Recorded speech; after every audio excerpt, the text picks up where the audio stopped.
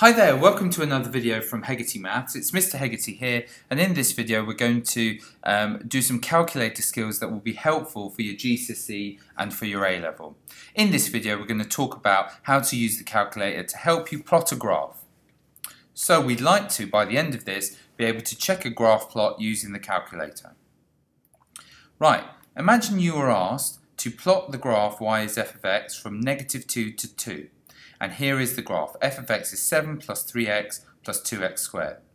What you might do normally in the exam, um, obviously it, we're asked to plot points here. We're not asked to sketch the graph and, and work out the minimum and all that. We just want to plot um, the points. Okay, so what you're going to do is you're going to substitute x is negative 2 in, work out the f of negative 2 value or the y value.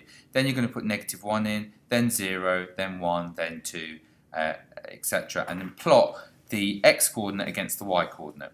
But let's let me show you how the calculator can do that for us. So get your calculator, press mode, and we want a table mode, so that's number 7.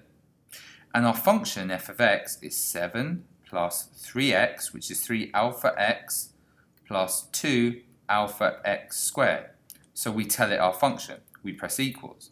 It asks us what x value we want to start at we want to start at negative 2. So we type in negative 2. It then asks us where we want to end. We want to end at positive 2. So we type 2. And it asks us what step we want. Let's say we want to go up in steps of 1. Okay, i.e. what we want to do is with negative 2, we want uh, to plot for negative 2, uh, negative 1, 0, 1, and 2. As follows. So that we tell it step of one. If you wanted uh, the halves, you would tell it step of a half. And press equals. And there is the graph. Negative 2, x is negative 2 goes with y is 9. So this is up here at 9. So this would be negative 2, 9. The next one would be uh, negative 1, 6 and 0, 7. So we have negative 1, 6 and we have 0, 7